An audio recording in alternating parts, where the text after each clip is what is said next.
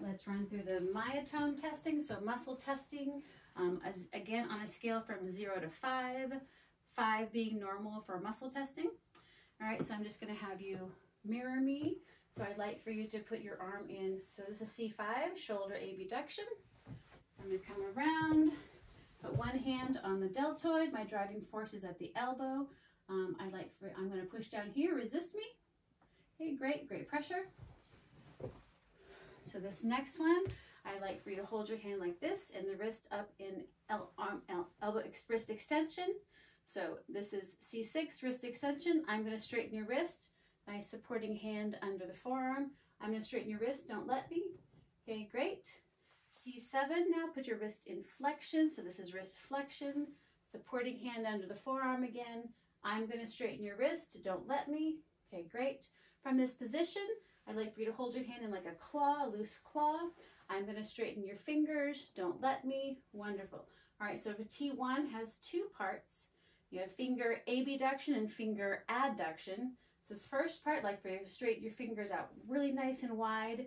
I'm going to gently put a little pressure and try to push her fingers together. So that's abduction, T1.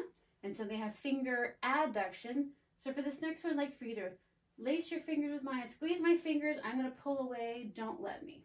Perfect. Thank you. All right, so that is all the upper. And now we'll do the myotomes for the lower leg.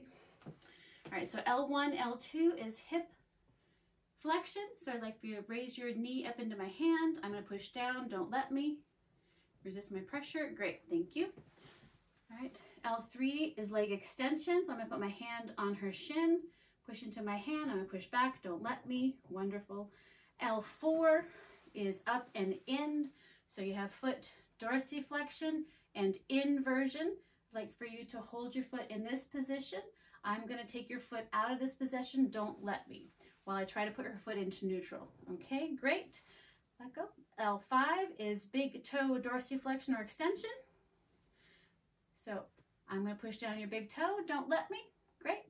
And then S1, last one, is down and out. So we have plantar flexion and eversion. Hold your foot in this position while I put your foot back into neutral. And perfect. All right, zero to five again for myotome testing, and we want a five.